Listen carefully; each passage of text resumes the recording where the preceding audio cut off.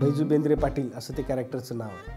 आणि तो बैजू बेवडा आहे म्हणजे अट्टल बेवडा आहे गावातला. आणि तो पाटील आहे म्हणजे ज्याने जुनी पाटीलकी केलेली किंवा त्याच्या घरात पाटीलकी असा तो बैजू बेवडा आहे. त्याला तो त्याचा एक माज आहे त्याच्या त्याच्या परंपरेचा त्याच्या पाटीलकीचा त्याच्या ह्याचा. आणि तो त्या तोऱ्यात जगणारा तो कॅरेक्टर आहे. आणि असा स्वच्छंदी आहे त्याला काही देणं घेणं नाही जगाचं दुनियेचं कशाचं देणं घेणं हो, मी माझ्या आयुष्यात सिनेमामध्ये तरी असं कॅरेक्टर पाहिलेलं नाही आहे म्हणजे ते कॅरेक्टर जेव्हा ऐकलं मी तेव्हा मला निळू फुलेंची आठवण झाली. त्या रोलसाठी खूप मोठ्या मोठ्या नावांचा आम्ही विचार केला होता. ह्या रोलसाठी दोन तीन लोक माझ्या डोळ्यासमोर होते. एक नाना पाटेकर शशांक शेंडे दुसरे मकरंद देशपांडे. अशी तीन नावं होती. की ह्या तिघांपैकी कुणीतरी एक करेल. महत्त्वाचं पहिलं प्राधान्य होतं नाना पाटेकरांना. त्याच्यानंतर शश म्हणजे शशांक शेंडेंपर्यंतही पोचता आलं नाही. आणि मकरंद देशपांडेंपर्यंत आम्हाला पोचताच आलं नाही. सगळा प्रश्नचिन्ह तिथं होतं की बैजू एवढा कोण करणार? सहज सगळ्यांचं लुक टेस्ट होती. सगळे आले होते. सगळ्यांची लुक टेस्ट झाली. मग बैजू बेवडाच राहिलं होतं.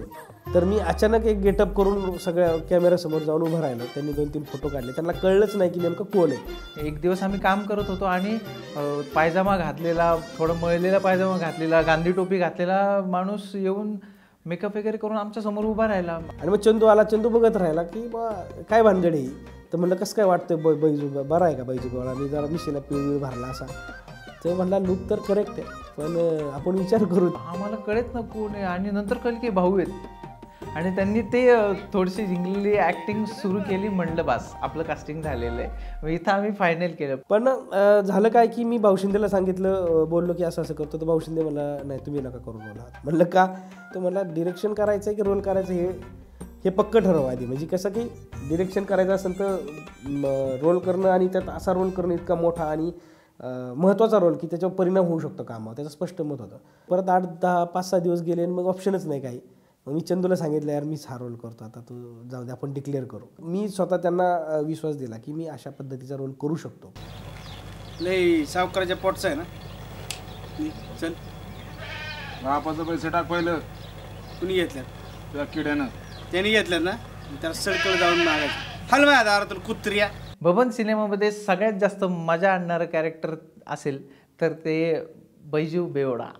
त्यात एक सीन आहे ते आणि तो एक दारू पिलेला असतो आणि त्याला ते पोलीस मारतात काठीने.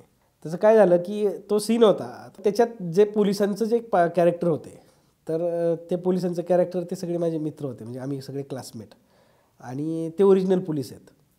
तर ओरिजिनल पोलीस असल्यामुळं आणि त्यांनी त्यांचा कॉस्ट्युम सगळा तसाच त्यांना काठ्या बिठ्या सगळ्या त्यांनी त्यांनी आणल्या. आणि त्यांना एक संधी मिळाली की आता बैजू बेवड्याला मारायचं आहे म्हणजे त्यांना वा वाटलं की बरं झालं आता तडाक्यात सापडला. तर त्यांना ते मारायला सांगितलं. त्यांनी खरं खरं इतकं मारलं की चायला मी म्हणलं की यांना उगंच कास्टिंग केलं मी यांचं. आणि त्यात कॅमेरा चालू होता. मला सांगता पण येणार थांबा म्हणून.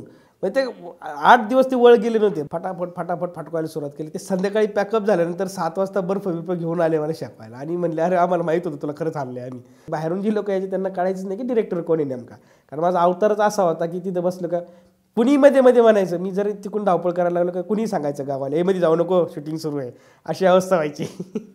मला वाटतं की मी माझ्या पद्धतीने शंभर टक्के देण्याचा प्रयत्न केला त्या रोलसाठी आणि मला पर्सनली त्या वाटलं की मी देतोय चांगलं काम करतोय. आता माहीत नाही लोकांना काय वाटेल ते पण बाकीची टीम खुश होती.